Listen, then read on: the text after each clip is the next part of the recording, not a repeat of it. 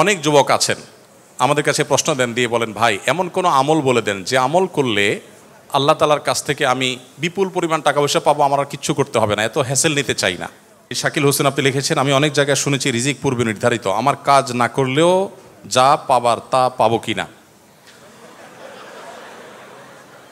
এই ভদ্রলোক সম্ভবত আমার মতো অলস প্রকৃতির মানুষ। তিনি চাচ্ছেন যে আল্লাহ যেহেতু রিজিক নির্ধারিত করে রাখছেন, তাহলে এত কষ্ট করে লাভ কি? শুয়ে থাকি। অনেক যুবক আছেন, আমাদের কাছে প্রশ্ন দেন, দিয়ে বলেন, ভাই, এমন কোনো আমল বলে দেন যে আমল করলে আল্লাহ তালার কাছ থেকে আমি বিপুল পরিমাণ টাকা পয়সা পাবো, আমার আর কিচ্ছু করতে হবে না, এত হ্যাসেল নিতে চাই না। অনেকে একটা নির্দিষ্ট অ্যামাউন্টের কথা বলে দেন যে, আল্লাহ তোমার কাছে বেশি চাই না। এই লাখ দশেক টাকা দিলে আমার চলবে। আল্লাহ সুমতালাকে বাজেট ঠিক করে দেয়। তো এগুলো ভুল। দোয়ার মধ্যে যদি এরকম ভুলভাল দোয়া করি, তাহলে তার পরিণতিও খুব ভুলভাল হবে। আপনারা অনেক গল্প ঘটনা এই সংক্রান্ত জানেন। আমি আর সেদিকে যে সময় নষ্ট করতে চাই না। আপনি অলস হয়ে শুয়ে থেকে যদি রিজিক চান, তো মনে রাখবেন এটা কোনো মুসলিমের প্রত্যাশা হতে পারে না। আল্লাহ সুমাতাল বলেছেন, ফাইদা কুদিয়াতি সলাহ ফান্তাশিরুফিল আরদি ওয়াবতাগু মিন ফাদলিল্লাহ। নামাজ যখন শেষ হয়, আল্লাহ বলেছেন, মসজিদ থেকে বের হও। ছড়িয়ে পড়ো তোমার আল্লাহর জমিনে এবং উপার্জন হালাল উপার্জনের জন্য বেরিয়ে পড়ো এবং হালাল উপার্জন আহরণ করে নিয়ে আসো। অতএব মুসলমান পরিশ্রম করবেন, উপার্জনের জন্য চেষ্টা করবেন, এটাই কিন্তু ইসলাম বলে। বিধায় সেই জায়গা থেকে একজন মুসলমান অলস হবে না। নবী সাল্লাহ সাল্লাম দোয়া করেছেন, আল্লাহ আপনার কাছে অলসতা থেকে আমি পানা চাই। আমরা দোয়া করব আল্লাহর কাছে। এবং সেই সাথে আরেকটি কথা বলতে হবে, তা হলো, যারা মনে করেন যে বসে বসে শুয়ে শুয়ে খাব, এরকম কোনো ব্যবস্থা হলে ভালো হতো, তারা মূলত একটা প্যারালাইসিস একটা জীবন চাচ্ছেন। প্যারালাইজড মানুষের একটা লাইফ চাচ্ছেন। কারণ এটা প্যারালাইসিস রুগীর কাজ, যে সে শুয়ে থাকবে আর সব রেডি করে সবাই এনে দিবে। একজন হাত পা সুস্থ, স্বাভাবিক মানুষ কখনো এটা প্রত্যাশা করতে পারে না। বাকি আপনার প্রশ্নের যে যে বিষয়টি আপনি ফোকাস করেছেন মূলত, যে এমন কোনো আমল বলব যে আল্লাহ তালা আমাকে বসা বসা দিবে। সরি আপনি বলেছেন যে রিজিক আল্লাহ তালা যেহেতু নির্ধারণ করে রাখছেন, আমার কিছু করার দরকার আছে কিনা? উত্তর হলো, যদি আপনার রিজিকে খুব বেশি কিছু বরাদ্দ না থাকে তাহলে আপনার আপনি অলস হবেন এবং আপনার মাথায় এরকম চিন্তা আসবে, আপনি বসে থাকবেন আর রিজিক আসবে না। আপনার রিজিক কতটুকু আছে সেটা আপনার অ্যাটিটিউড এবং অ্যাটিটিউড আপনার পরবর্তী আপনার যে প্রাপ্তি সেটা দেখে বোঝা যাবে। এজন্য একজন মানুষ তাই পাবে যা তার রিজিকে আছে। রিজিকে আছে বিধায় আমি শুয়ে থাকি। এ কথা চিন্তা করে যদি আপনি শুয়ে থাকেন, আপনার রিজিকে কিছু না আসে, তাহলে বুঝতে হবে আপনি কপাল পড়া, আপনার রিজিকে আসলে কিছু ছিলই না। আর যদি আপনি পরিশ্রমী হন, পরিশ্রম করেন এবং ভালো কিছু পান, তাহলে বুঝতে হবে যে আপনার রিজিকে এটাই ছিল। মনে রাখবেন, হবে সেটাই যেটা আমাদের রিজিকে আছে। আমাদের রিজিকে যা আছে, তার বাইরে কোনো কিছু হবে না। আমরা চাইলেও হবে না না চাইলেও হবে না। বহু মানুষ আপনার চাইতে অনেক বেশি পরিশ্রম করেছে। ঢাকা শহরে অনেকে গল্প দেয় যে, আমি অনেক কষ্ট করেছি জীবনে। আজ এ পর্যন্ত আমি এসেছি, এরকম অনেকে বলেন। এই বলাগুলো অহংকার বশত হয়ে থাকে। তার চাইতে বেশি অনেক চেষ্টা করে মানুষ রাস্তা রাস্তা করে। ঠিক না ঠিক? বিধায় এটা আল্লাহ তালার রহমত ছাড়া কখনো হবে না। রিজিকে যা আছে তাই আসবে, কিন্তু আল্লাহ তালা আপনাকে বসে থাকতে বলেন আল্লাহ বলেছেন, রিজিকে যা আসবে এটা বিশ্বাস করবা আর শ্রমের জায়গায় তুমি ঠিকই শ্রম দিবা। তাহলে রিজিকে যা আছে তাই আসবে আর পরিশ্রম করার কারণে আল্লাহর কাছে তুমি রিজিক পাওয়ার না পাও, আল্লাহর নির্দেশ পালনার্থে পাওয়ার কারণে তুমি সব পাবে ইনশাআল্লাহ তালা জাজাকুল্লাহ খের আল্লাহ তালা আমাদের সবাইকে আমলের তৌফিক দান করুন। এরপর নাম প্রকাশে অনিচ্ছুক একজন প্রশ্ন করেছেন রসুল্লাহ সাল্লাহ সাল্লামের জীবনী এবং বর্তমান প্রেক্ষাপট বিবেচনা একজন অমুসলিমকে কীভাবে ইসলামের দাওয়াত দেওয়া যায়? একজন অন্য ধর্মাবলম্বীকে ইসলামের দাওয়াত দেওয়ার সবচাইতে শর্টকাট ওয়ে এবং সবচেয়ে কার্যকর উপায় হলো আপনি নিজেকে আদর্শ মুসলমান হিসাবে উপস্থাপন করেন। কারণ একজন অন্য ধর্মাবলম্বী, তারা আমাদের ধর্মগ্রন্থ পড়ে না, কিন্তু তারা আমাদেরকে পড়ে। আমাদেরকে তারা দেখে। আমাদের আচার আচরণ, আমাদের কাজ কারবার আমাদের সব কিছু দেখে সেজন্য ইসলাম এর প্রতি আগ্রহী হয়ে ওঠে। ইসলামকে যেন সে জানার জন্য আরও বেশি আগ্রহ তার মধ্যে তৈরি হয়।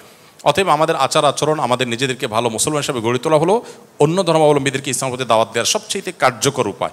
এর পাশাপাশি অনেকগুলো ভালো বই আছে এই সম্পর্কে, সে বইগুলো আপনারা মানুষকে উপহার হিসাবে দিতে পারেন, নবী করিম সাল্লাহ আসলাম সম্পর্কে। কোরআনে করিম উপহার হিসাবে দেওয়া, এটা অনেক বড় কার্যকর একটি উপায়। আমি জাপানের টোকিওতে এক বাংলাদেশির একটা অভিজ্ঞতার কথা জানলাম। তিনি আমাকে বললেন যে, ভাই, আমার একটা কফি শপ আছে, আমি আমার সে দোকানে একটা কোরআন রেখে দিয়েছি, খুব চমৎকার। তো এত সুন্দর কোরআনের বাধাই তো একটু ব্যতিক্রম হয় সৌদি থেকে যে ছাপাগুলো বিশেষ করে, অন্য সাধারণ বইগুলো এত সুন্দর বাধাই হয় না। তো অনেক অমুসলিম জাপানিজরা যারা সাধারণত কোনো ধর্ম বিশ্বাসে বিশ্বাসী নয়, তারা অনেকেই এসে জিজ্ঞাসা করে যে এটা কী? তো আমি তাদেরকে জাস্ট জাপানি ভাষায় অথবা ইংরেজিতে একটা কোরআনের কপি দিয়ে বলি যে এটা আসলে এটা, আমি একটু এক্সপ্লেন করে বলি যে এটা তুমি পড়ে দেখতে পারো। এই ভদ্রলোক আমাকে বলেছেন যে যারা তেমন কোনো ধর্মে বিশ্বাসী নয়। এরকম বহু মানুষ আমার হাতে শুধুমাত্র আমার দোকান থেকে ইসলাম গ্রহণ করেছেন, শুধু কোরআন পড়ার কারণে। কোরআন এবং নবী সাল্লাহ ইসলামের সিরাত গ্রন্থ, এই দুইটা জিনিস যদি কোনো মানুষ নির্মোহভাবে পড়ে, সে ইসলামের কাছে আত্মসমর্পণ করতে বাধ্য। ফ্রান্সের একজন পলিটিশিয়ান, ভদ্রলোকের নামটা আমার মনে নাই মনে থাকেও না, আমি বারবার চেষ্টা করি বিদঘুটে একটু নাম।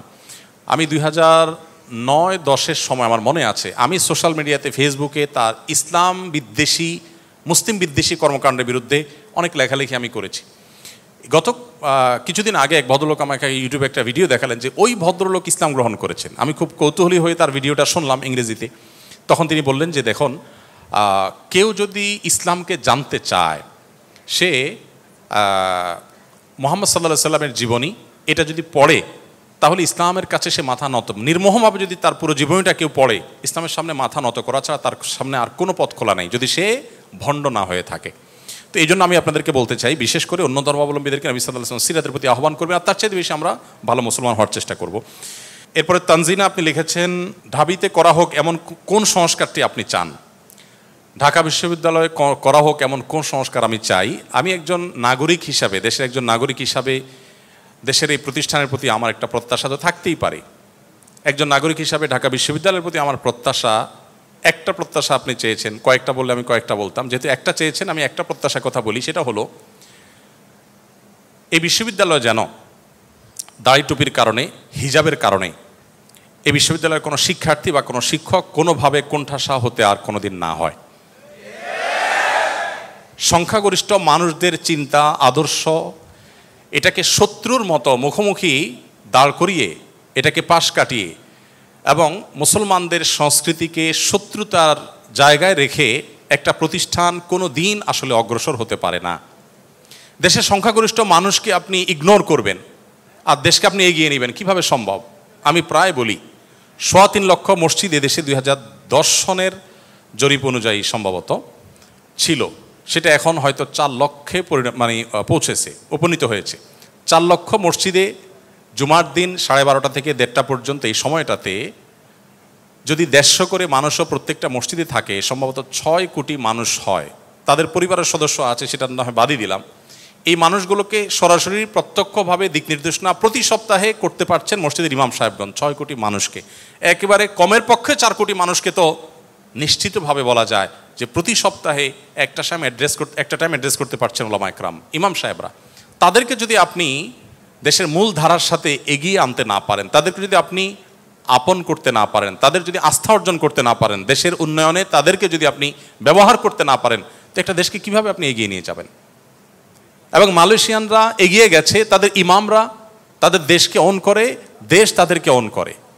এবং সে দেশের পদস্থ ব্যক্তিবর্গ, মন্ত্রী মিনিস্টাররা তারা ইসলামকে অত্যন্ত শ্রদ্ধার সাথে জায়গা দেয়। তাদের দেশের প্রেসিডেন্ট, প্রধানমন্ত্রীরা যখন ইউরোপ, আমেরিকা সফর করে, সেখানে তারা জুমান নামাজের ইমামতি করে। পুত্রা জায়ায়, আমি নিজে গিয়েছি। তাদের প্রধানমন্ত্রী কার্যালয়ের সামনে সবচেয়ে সুন্দর মসজিদ। মন্ত্রীরা সেখানে মিটিংয়ের পর দল বলে মসজিদের জামাতের সাথে সালাত আদায় করেন। কদিন আগে ভাইরাল হয়েছে একজন মন্ত্রী, তার মেয়ে। মসজিদে কোরআন হিফজ শেষ করেছেন। সেখানে স্ত্রী সহ তিনি বসে সেটাকে শেষ মুহূর্তের হিফজের লাস্ট মোমেন্টটাকে তারা এনজয় করছেন, উপভোগ করছেন। কই? তারা তো পিছিয়ে থাকেনি। আমাদের এই দেশে কেন ইসলামকে পিছনে ফেলে রাখলে আমরা এগিয়ে যাব মনে করছি? যারা এটা মনে করছেন, তারা বিগত পঞ্চাশ বছরে বাংলাদেশকে কোথায় নিয়ে গেছেন? পঞ্চাশ বছর তো ইসলামের সাথে শত্রুতা করে ইসলামকে দূর দূর করেছেন। তাতে দেশ কোথায় এগিয়ে গেছে? এর বিপরীতে আমি বলতে চাই, যদি দাড়ি টুপি এবং হিজাবকে অহেতুক আসামির কাঠগড়ায় না দাঁড় করান, এবং ধার্মিক মানুষদেরকে যদি আস্থায় আনতে পারেন, এবং এক্ষেত্রে ধার্মিকদেরও যথেষ্ট দায়িত্ব কর্তব্য আছে, তারা দেশের জন্য যদি নিজেদেরকে উজাড় করে দেন, তাহলে আমার মনে হয় পৃথিবীর অনেক দেশকে আমরা পেছনে ফেলে এগিয়ে যেতে পারব ইনশাআল্লাহ তাআলা।